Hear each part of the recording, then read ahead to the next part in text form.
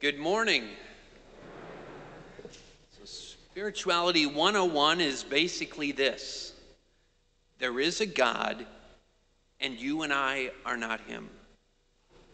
Sometimes people remind us of this, sometimes events do.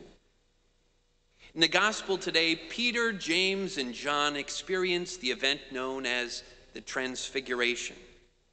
They saw their teacher and, trend and friend transformed before their eyes and heard God's voice telling them to listen to Jesus, his beloved Son. The apostles needed to see this transfiguration and to hear this message from God.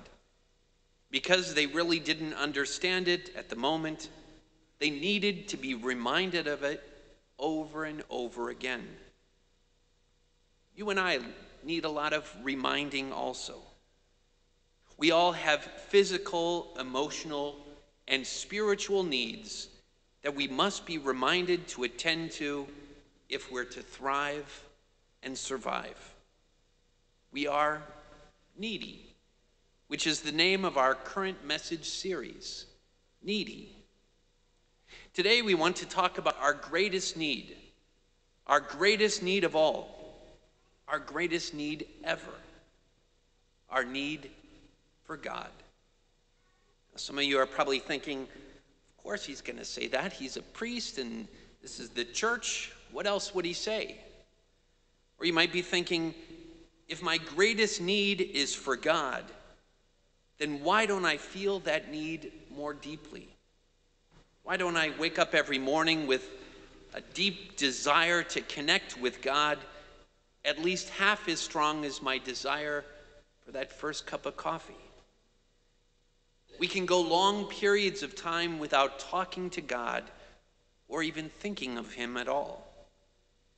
To maintain a habit of prayer for many feels like a major effort, not a need may p- appear to us that there are other people we know who seem to have it all together, and God is not a part of the picture. They're happy, they have a good job and a great family, just no God in their lives. Where's their need? That we're going to try to answer those questions by turning to our first reading. That Abraham is one of the best known figures in Scripture is considered the patriarch or the father of the world's three major religions Christianity, Judaism, and Islam. Abraham is married to his wife Sarah, and they have no children at first. It's a sorrowful burden for any couple who wants children nowadays. But back then, it was a huge problem socially and even economically. And the two of them were really old, so their chance of having a child is hopeless. God chooses to begin a covenant relationship with Abraham. Here's how God starts that relationship. He says that if Abraham steps out in faith, as God asks him to do, God will make him three promises. God will make him a nation God will make him great, and God will bless him. From Abraham's perspective, none of this could happen without a son. So Abraham goes where God tells him to go. He leaves a very comfortable situation and risks it all for his heart's desire. Maybe that's the story of some of us here today. We're here in church today not because we necessarily want a covenant relationship with God, but because we want something better from God. In that way, you and I are really no different than Abraham. Quid pro quo. I'll do this for you, God, but here's what I'm expecting in return. Sounds a bit selfish and self serving. I suppose it is. But here's the incredible thing about our God He still accepts us however and whenever we're willing to come to Him. God promised Abraham a son if he stepped out in faith. And Abraham did, sort of.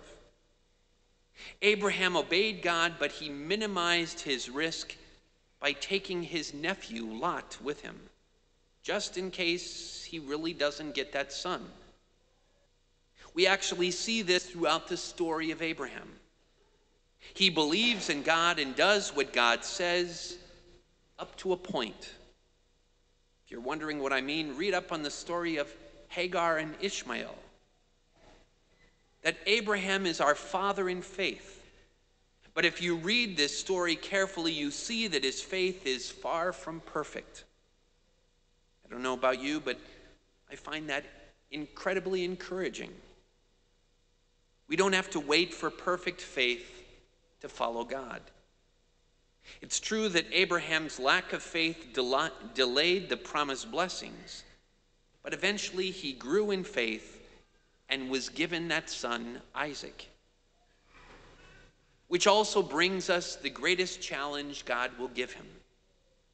At a certain point, as we read today, God says, Take your son, your only begotten son, Isaac, whom you love, and go to the land of Moriah and offer him as a burnt offering. Shocking for sure, but not as shocking as the next verse, which tells us Abraham started out to do just that. The story proves how dramatically Abraham's faith and trust in God has grown. Abraham and Isaac, a boy of perhaps 12 or 13, make their way to the place proposed for the sacrifice. As they go, Isaac asks his father, Here's the fire, here's the wood, but where's the lamb for the burnt offering? Abraham answered, God himself will provide the lamb. Another indication of faith and trust. God will provide. The story concludes Abraham bound Isaac and laid him on the altar.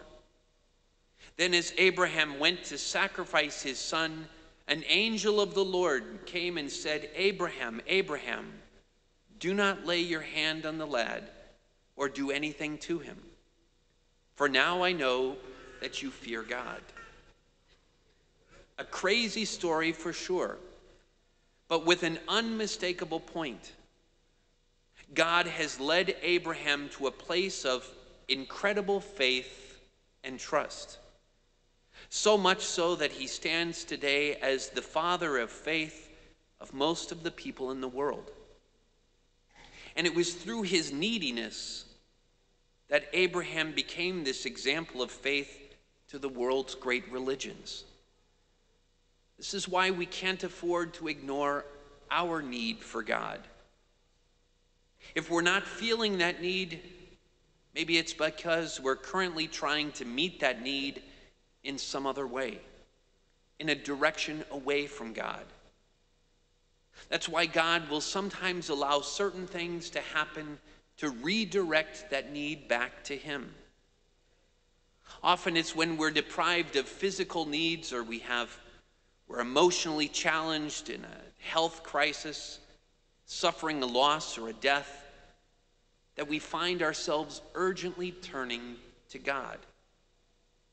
All suffering can help us to become closer to God and finally realize that God is the answer to all our struggles.